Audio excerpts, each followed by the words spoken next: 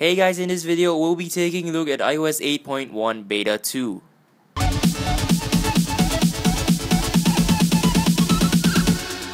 Bounds. Apple recently released iOS 8.1 Beta 2 to the developers on Tuesday, and the company described the update through the release notes as a bug fixes and improvement update. Taking a look through the official changelog, we can see quite a bit of changes happening here, including changes to the address book People Picker UI, workaround for problems of third-party keyboards, and more instructions for enabling Wi-Fi calling over T-Mobile's network. Overall, I don't see any major changes in this new beta, but I do notice some speed improvements in the new iOS 8.1 Beta 2.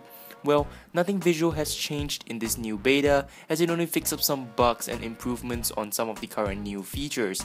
Overall, if you guys are on iOS 8.1 Beta 1, you can update to the new beta over the air like what I did here. If you guys are on iOS 8.0.2 or below and is thinking of upgrading to iOS 8.1 Beta 2, well, I don't really recommend it as there's nothing much has changed in here. But if you want that extra speed, yes, go for this update. Recently, I just started out a new blog over at WordPress and if you guys are interested in reading more about this beta update, I will have an article there explaining these features and changelog in the new beta. The link's in the description below. Alright, that's about it folks. If you guys enjoyed this video, do leave a thumbs up and of course, subscribe if you haven't already. Once again, I hope you guys enjoyed this one and of course, peace out guys. Yeah.